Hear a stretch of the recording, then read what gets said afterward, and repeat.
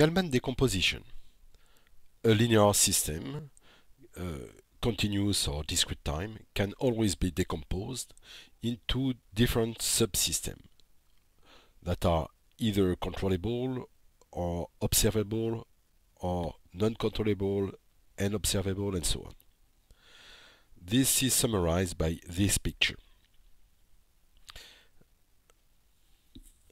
Uh, so we can see that there is uh, no path from U to the system when they are not controllable and the same when it is non-observable there is no path from uh, non-observable to Y. So I will explain this here.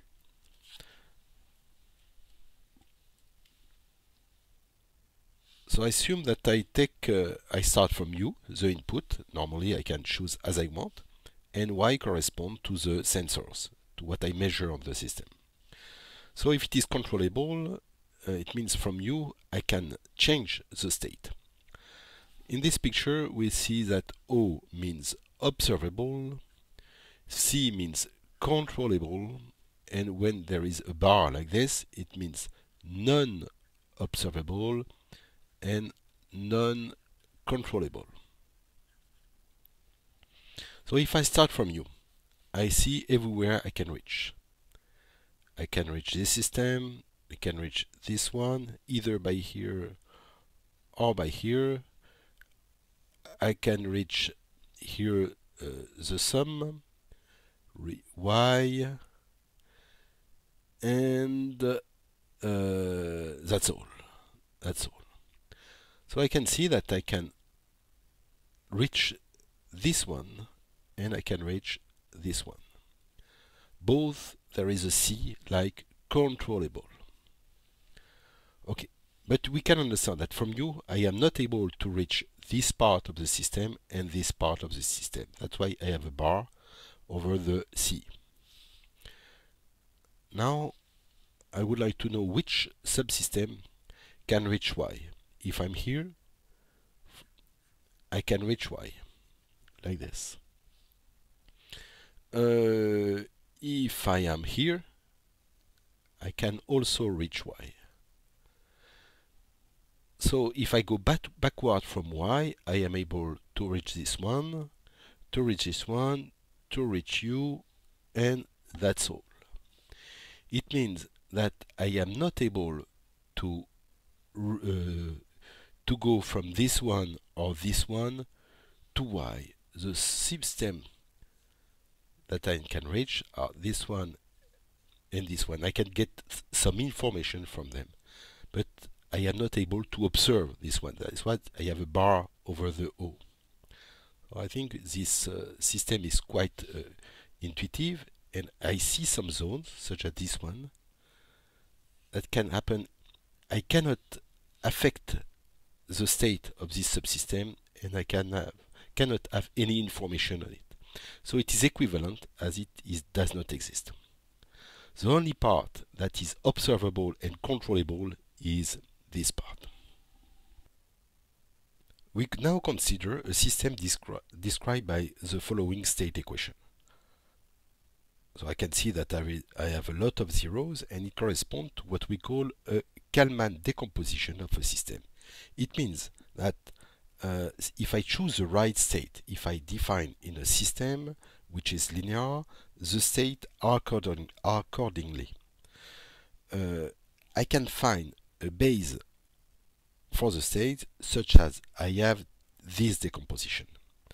And what I will do now is to create a link between this matrix decomposition and the uh, decomposition just previously seen here.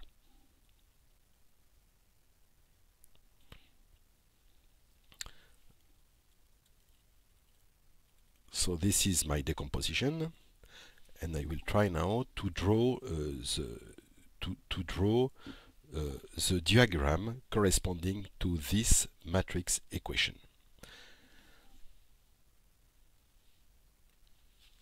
I have U here and from U I am able to reach different points. First I am able from this decomposition to reach D and I go to a sum like this to create y. Now I have different states x1, x2, x3, x4. So there may be subvectors, for instance. So I choose here the state for x1, 1 for x2, it is an integrator,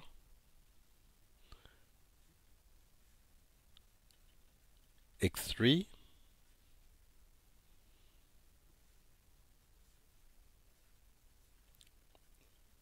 x4. So for all integrators, in front of it, I have the derivative x dot 1 and so on. So here it will be x dot 4. Okay. Now I can see that for all of them there is the proper feedback here here so I will represent them here I add something and I have at least one one which come back like this here a22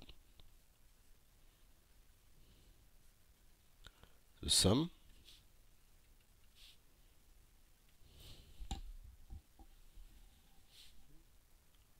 A33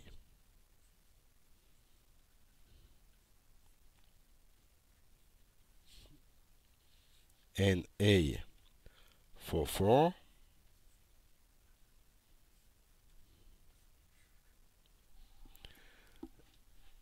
okay so now from this equation I can see that I have some links with the other states so I will probably first draw B1 which relates x1 and x3 to the input. So here I have B1 and here B3.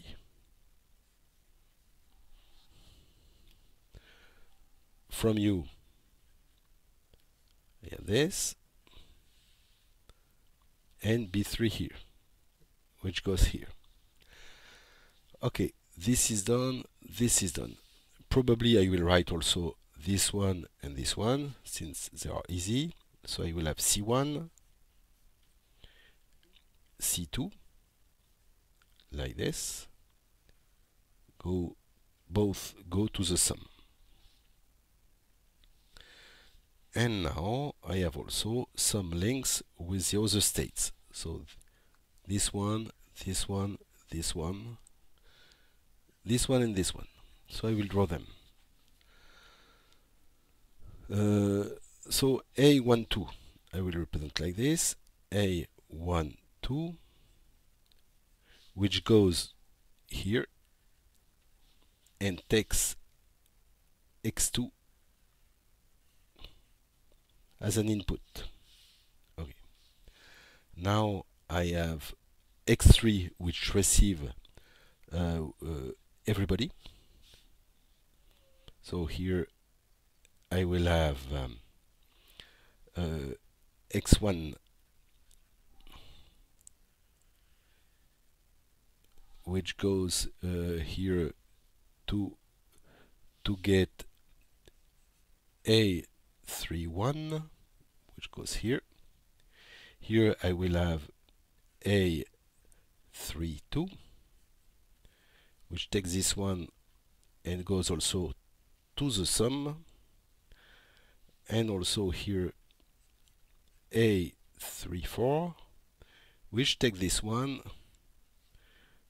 to go to the sum.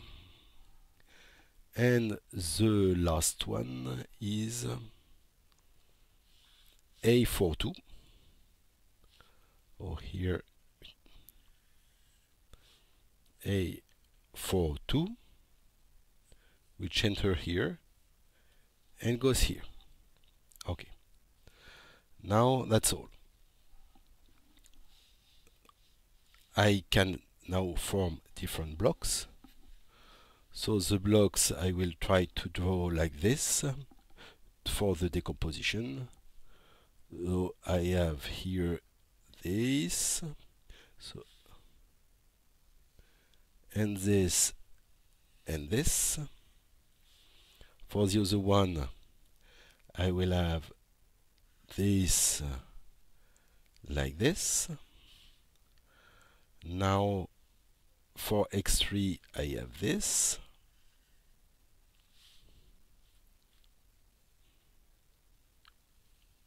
And for the last one, I have this. So from this, I can see that uh, this part here, I can reach x1 from u and y, and this is why I could say that this one is observable and controllable. This one, I can reach y, but I cannot reach this block from u, so it will be observable and non-controllable. This one will be non-observable but controllable, and this one is neither observable, neither controllable. So this explains why the decomposition here can uh, is linked to what has been previously previously said. And if I have a system which is linear such as x dot equal ax plus bu y equal cx plus du of course everything will be mixed in a b c and d but I can change uh, I can change the state so that I can get this decomposition so it is a, a theorem from Kalman where this is why the, this decomposition is called the Kalman decomposition.